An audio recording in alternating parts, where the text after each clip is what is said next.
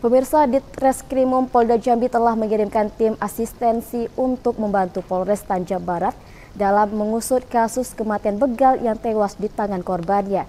Saat jumpa pers di Polda Jambi pada Minggu 12 Mei 2024, Ditreskrimum Polda Jambi menjelaskan sempat terjadi adu jotos antara pelaku begal dengan korban yang menyebabkan seorang pelaku tewas dan satu pelaku lainnya terluka. Dijelaskan oleh Ditreskrimum Polda Jambi Kombes Pol Andri Ananta Yudhistira, berdasarkan dari pendalaman kejadian ini terjadi pada 30 April 2024 sekira pukul 22.00 waktu Indonesia Barat. Saat itu FH dan adiknya sedang melintas di Jalan STUD Desa Taman Tungkal Ulu Tanjab Barat. Namun naas mereka dihadang dua orang pelaku begal inisial E dan H yang ingin merampas uang dan benda miliknya dengan cara memaksa dan memukul adik dari FH. FH yang tak terima adiknya berusia di bawah umur itu dipukuli lalu cekcok dengan begal bernama H, sehingga terjadilah aksi duel bak laga film action. Tambah Andri begal H saat berduel ternyata menggunakan sebilah pisau yang melukai tangan FH karena berusaha menangkis.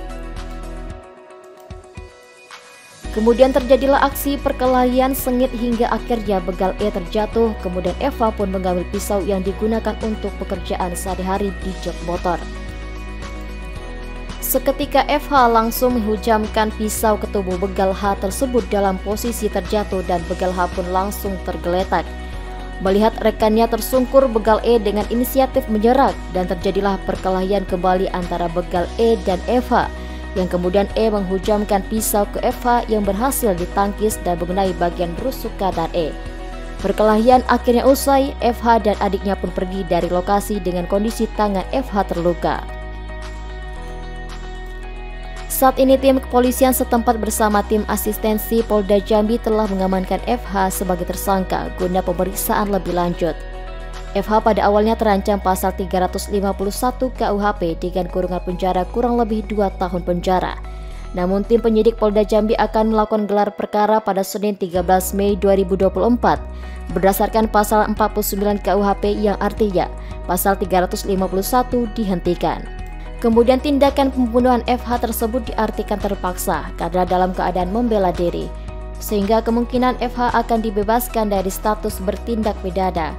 Hal ini didasari dari pendalaman dan keterangan saksi ahli hukum pidana yakni Dr. Alpi Sahari yang dihadirkan di Treskrimum saat jumpa pers.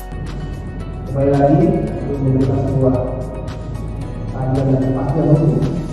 Besok kami akan pengadilan membuktikan perkara yang satu ayat ini. Nah, ini kan pertama jawaban itu tanggung jawab kami sebagai penyidik kami sudah berusaha untuk penanganan kasus yang dilakukan proses oleh rekan-rekan dari proses pemerintah. Itu rekan-rekan yang dapat disampaikan. Terima kasih atas kehadirannya dan mohon maaf kalau rekan-rekan selalu menanya perkembangannya akan tidak mudah untuk bisa dikonstruksikan dari sebuah pasal 49 ayat satu maupun ayat dua ini dibutuhkan kerja keras dari diri rekan dari sendiri Polres yang memulai untuk proses pasal 251 dan ayat kerja yang dari malam untuk bisa mengkonstruksikan pasal 49 yang sudah diambilkan dari awal. Sebuah pembelaan dan pembelaan. Demikian rekan-rekan kami persilakan mungkin nanti Bapak kami Humas yang akan memimpin jalannya. Terima kasih. Halim Andrian, Cek TV, melaporkan.